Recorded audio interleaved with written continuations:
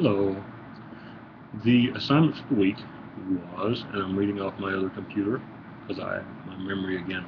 It's a sketch when you shake it, it goes. Anyway, okay. Um, how do I want the world to be different because I lived in it? Uh, your existence is already a factor in world history now. What sort of factor do you want it to be? Maybe you want to create worldwide prosperity or worldwide prosperity. Either one, one of the two would probably be okay uh, beautiful family, or one really excellent bagel. If your impressions are more va vague, keep asking the question. Eventually, you'll glimpse clearer outlines for your destiny. Live by design, not by accident. So, what does that mean to me? I think the last statement to live by design and not by accident is very powerful if you think about it. If you um, feel that your life is kind of adrift and you just uh, come and go as the wind blows, uh, then maybe you should start thinking about that. Maybe that's something to think about. Me, um, I, I went through a time with that where I, I just kind of bounced here and there and just enjoyed life and whatnot but not as much as I could have. But so, to the question, how do I want to impact the world? Hopefully not in a crater in an airplane seat. See impact? See what I did there? Um, never mind. Probably not a good example. The the things that I'm doing to impact the world, I think, are teaching is one of the biggest. The um, the opportunity to inspire, hopefully, to give people um, a desire to learn or help people learn, get people past the uh, concerns and fears about technology, stuff like that. That I think is would be really big um, because it's not going away.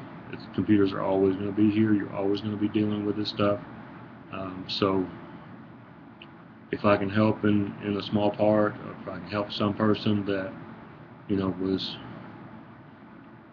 not into computers to, you know, not necessarily, I don't expect to like make the next Albert Einstein or the next, you know, Stephen Hawking or, or you know, Kevin Mitnick, for any of y'all that know who he is. Um, that's fine, but I don't want to stop trying.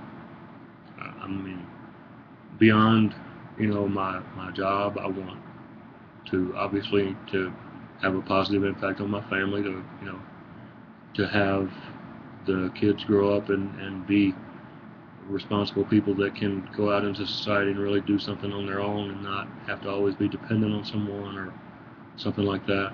Um, I, I kind of really think about it a lot. I mean, I, I there's only so many hours in the day, unfortunately, sometimes, but and sometimes there seems like there's way too many hours in a day.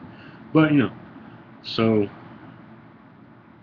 I want to impact the world as it relates to the influence that I have on people around me, and not in a bad way, but in a in a positive way, maybe inspiring, hopefully. Um, even if if it's just someone comes to my class and, and they're they're sad, they're depressed, they're not happy, and something I do can make them smile for a minute, forget forget maybe their problems for a little while. I think that's that's super. How great is that? Because I so many times that I've been, you know, completely depressed about something, miserable about something, upset about something, and to have something just turn that around, even for a little while, is just so wonderful. So hopefully that is something that I I can do, something that I've done for for maybe some of you guys. You know, um, I hope. So that is how I want to impact the world.